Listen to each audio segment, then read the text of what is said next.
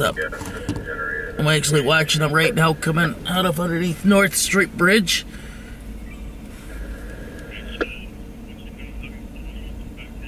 About 10 minutes at least. Yeah, no problem with that. Bye.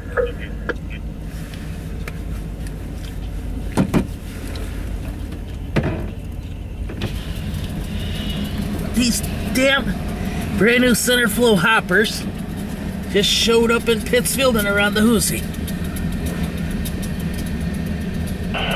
Five four two, restricting CP one five zero, track number one, last direction three six zero four zero.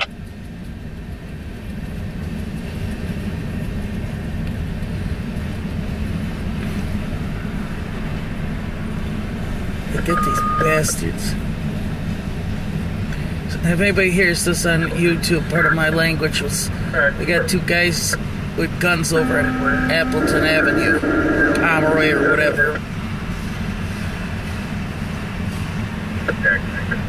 City's gone completely mad. Dakota Adams ambulance, please respond to 5733, the town of Chester,